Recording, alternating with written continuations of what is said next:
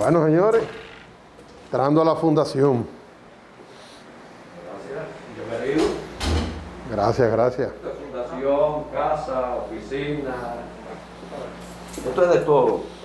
Hablando de la fundación, ¿cuál fue la motivación original para involucrarte tan de lleno?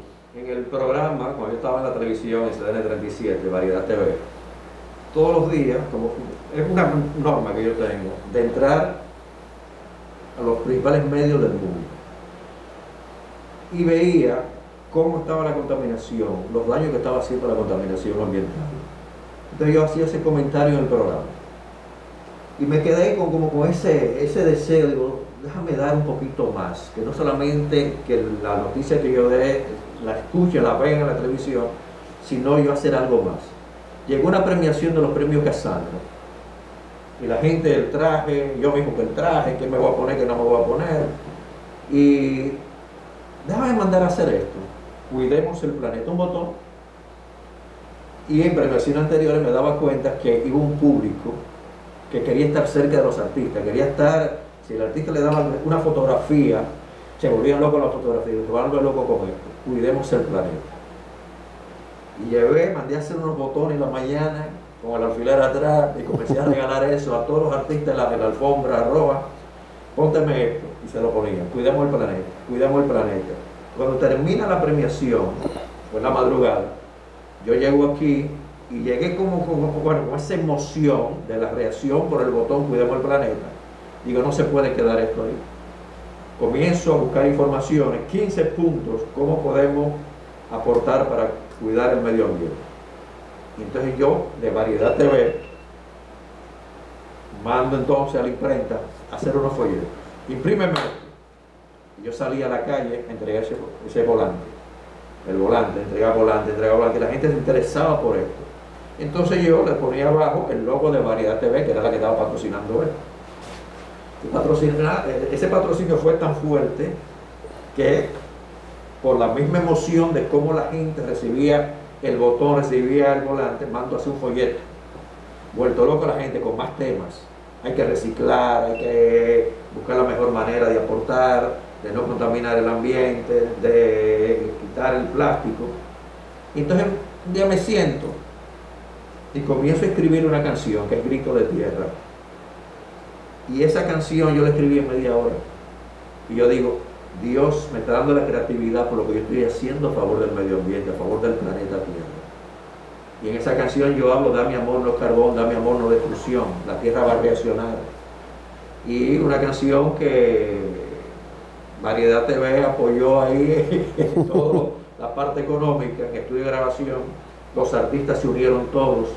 La primera versión que fue con Iberice Ramos y Leo Suberví, que son parejas, en una ocasión, entonces estoy en una actividad, no era fundación todavía, y fui a una actividad, me dice Watson, escuché una canción tuya, yo quiero que grabarla, y Pachi hizo un arreglo de maravilla. Y Pachi me dice, mira, ve a mi casa del estudio, Pachi vivía cerca de aquí, también que Dios me lo tenga en el cielo, y ve para que tú... Sí, lo, lo, de Pachi es otra de las pérdidas repentinas, Así es. porque Pero, de juventud, sí. entregado, buen corazón, siempre tenía una sonrisa para todos. siempre. Eso fue un lunes. Ven miércoles a mi casa, aquí está el estudio de grabación para que tú veas lo que te Estaba Watson allá, y me pone la canción, con arreglo y todo. Dice Watson, dime, tú que vienes de la radio, ¿qué le falta a la canción? Que la grite un poquito más. Fue lo único que yo le grítala más. Es la tierra que está llorando. Hazte cuenta que tú estás llorando, grítamela más y salió una versión bellísima.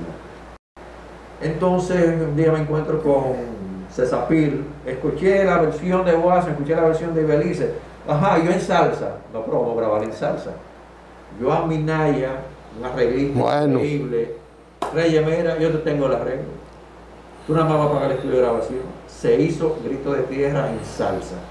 En salsa, el Grito de Tierra se convirtió en número uno en España. Mira, tú mencionaste a Juan Minaya, a Joan Minaya. Ya. Y lo de Joan Minaya es sorprendente. La calidad incuestionable de él arreglando, porque la gente lo, solo lo recuerda, mucha gente, La artillería. en la artillería siendo el trombonista. Eh, Sin embargo, hoy por hoy mantiene una musicalización con muy los, bueno, muy bueno, muy con bueno. los merengueros de los 80. Pero mira, él hizo el arreglo del merengue, el de- ese arreglo de salsa con salsa lo hizo él. El arreglo en merengue con Cherito, que también Cherito canta Grito de Tierra, es de él también. Y un merengue, óyeme, bueno, bueno. Sí, sí, realmente excepcional. Y yo digo, ¿cómo llegó esta canción? Bueno, llegó por YouTube, llegó por internet, llegó por la dominicana que se la llevó. Como la canción habla, da mi amor, no carbón, da mi amor, y hablo mucho de da mi amor. La gente dice, bueno, bueno, los piratas la agarraron también. tú te imaginas. Entonces ahí comienza ya tres versiones. El contador de Variedad TV me dice, mira papá, ven acá. Esto no puede continuar.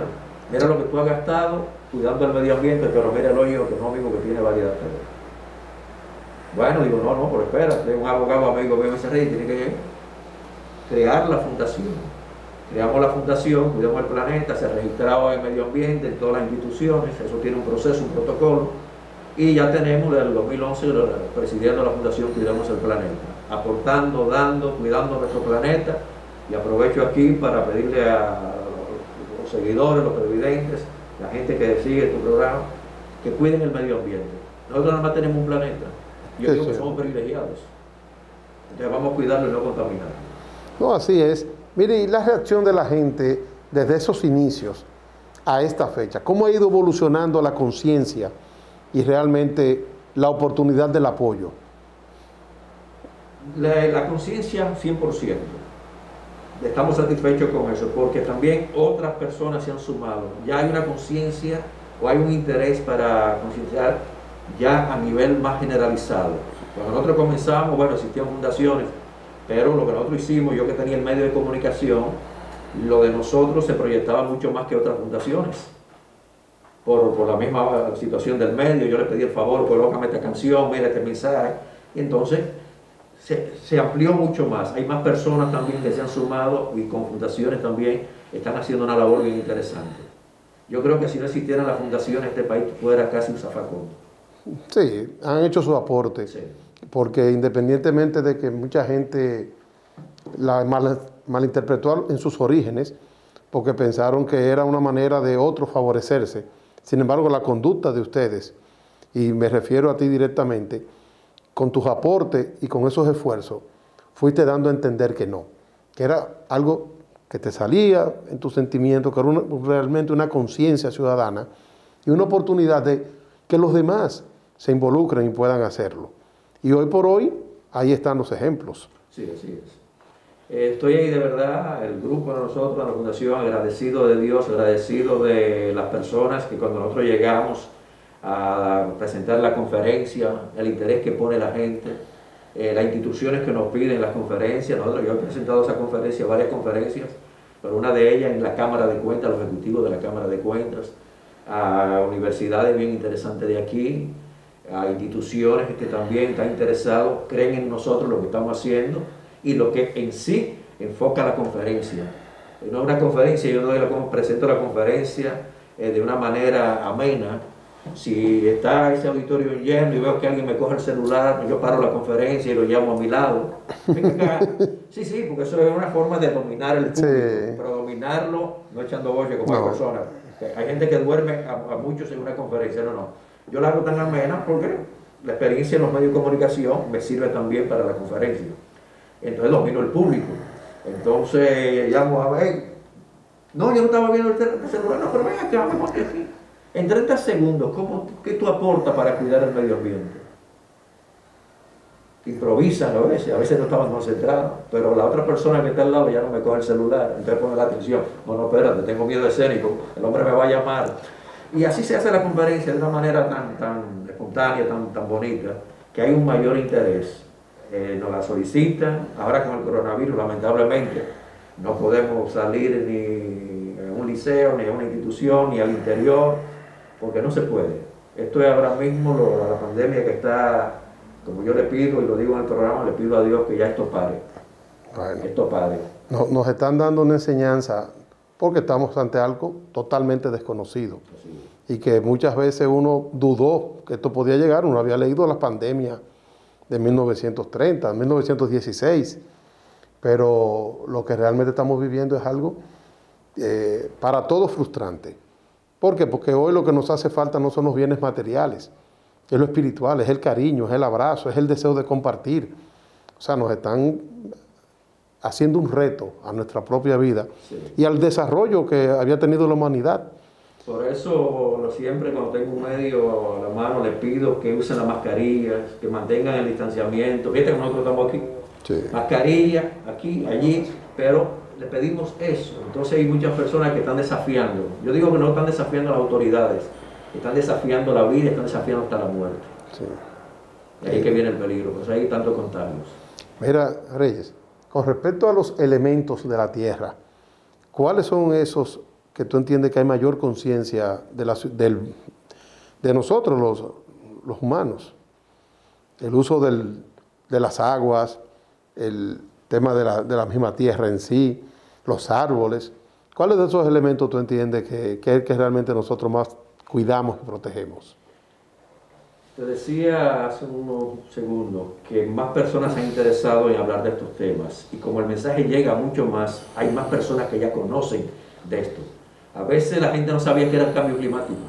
Cambio climático, qué palabrita de moda. Y uno le explica, el cambio climático es esto. Entonces hay muchas personas, en cualquier lado donde yo he ido, hay hasta niños, pues yo he participado a muchos niños, y los pongo a hablar y saben de estos temas. Ellos son los que realmente van a ir teniendo una conducta de preservación. le enseñan a los padres. Porque le enseñan a los padres. Yo en una ocasión, presentando una conferencia en la biblioteca que está en la, de, la Torre Delgado, la República la Isla Delgado, el niño, bueno, me echó como, uno dice, para adelante a los papás. Cuando yo comencé a hablar de, cómo hay que ahorrar agua, la sequía que nosotros tenemos, la falta de lluvia, cómo los millones de galones de agua que falta para, para la casa y el niño le dijo, tú ves papi y mami, que yo te digo que cierren la llave. Entonces, tú puedes estar seguro que esa familia, quizá le llamaron la atención al niño, pero en la casa cierran. No, y a partir de ahí cambió su conducta. Entonces, esto es parte de lo que uno quiere, que la gente cambie a favor de... Aquí hace falta que usen menos plástico. Menos plástico que usen aquí. Aquí hace falta que no desperdicien tanta agua. Aquí hace falta que la gente se interese mucho más en sembrar. La gente siembra, pero quiere más sembrar. Y hace falta más todavía. Hace falta que la gente diga, bueno, si yo voy a una playa, esta playa es mía, pero yo tengo que cuidar de esta playa. ¿Cómo yo cuido esta playa? No me deje la funda plástica, no me deje la cucharita plástica, no me deje el tenedorcito. Pero también, y en este proyecto de este año estamos desarrollando eso también, señores, hay muchas formas de contaminar la colilla del cigarrillo. Yo creo que aquí los hoteles, los resorts tienen que enseñarle a los turistas, mira viejito, te vamos a dar, esta playa disfruta, disfruta toda esta belleza, pero la colilla no la dejes en la playa. Resulta que cuando se deja una colilla en la playa, viene el otro fuma también, la tira en la playa, lo mismo que la goma de mascar, se tira ahí, eso es difícil que el chicle no se degrada. No se degrada. Es una goma. Entonces, ¿qué sucede? Con la colilla, el filtro ya la parte del tabaco, cuando llega a ser moja, lo tapa. Ok, pero el filtro tiene unos químicos y el mismo filtro dura muchísimo tiempo para degradarse. Y mientras está ahí en el agua, está contaminando esa zona y eso le hace daño al mundo submarino, que los arrecifes, que le hace daño, a, todo, a todo le hace daño. La colilla cigarrillo. Hemos visto siempre jornadas de arbolización, pero también entiendo que la quema de árboles. La quema y tala de árboles. Es algo que tenemos que buscar la manera de controlar. No solamente por autoridades, porque muchas veces somos muy dados a dejar que sean las autoridades que nos impongan qué se puede y qué no se puede hacer. Es más la conciencia. Sí, pero aquí hay una práctica muy negativa, como la hay en Brasil también. Por sembrar una yuca te queman tantas tareas de tierra te queman tantos árboles. Y yo creo que la consecuencia tiene que ser más fuerte. No me vengas tú, en una ocasión yo fui abonado por Fula, por Río de Fula, y en la carretera allá, llegando al Río de Fula, estaba esa montaña, y me llamó bastante la atención que de este lado veo humo, le prendieron fuego. En el medio veo que está sembrado y entonces en el extremo hay un señor con un toro arando. Digo, mira por qué la queman. Sembrando. Sí, el el famoso, el famoso sembrarío, Exacto. que al final te justifican que porque están sembrando alimentos pueden eliminar el árbol. Y no es así. No, no, no, no, no, no, no, no. La naturaleza es muy sabia. Sí. La naturaleza sabe también qué desarrolla en cada ambiente y qué preserva. Bueno, lo que pasó en los artistas, lo que pasa es que mucha gente la sacaron de allí. No, que soy padre de familia. Todos somos padres de familia. Sí. Pero esto es protegerla, esto hay que cuidarlo. Las montañas hay que cuidarlas. Aquí con, aprovechan mucho los tempraneros, el verano, la temperatura caliente. Y no solamente aquí, en muchas partes. Sí. La temperatura caliente. Entonces, ¿qué hacen? Ah, bueno, siempre se dice que, bueno, esto con la temperatura caliente es más fácil que se origine un fuego. Y tú sabes que, no sé si tú lo jugaste cuando pequeño, yo sí, y era que con el, un cristal de los lentes del abuelo, Poniéndolo. poniéndolo con el sol, al sol. lo quemamos un papelito. Sí.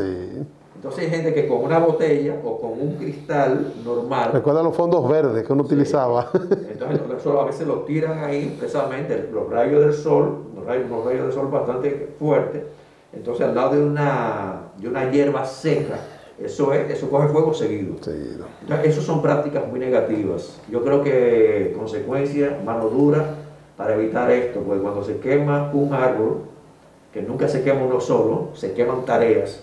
Y para pagar esto, lo, lo que significa en perder esos árboles, lo que significa el daño a la tierra y también el humo, la contaminación del mismo árbol que se está quemando. Y la protección a nosotros los humanos. Exactamente.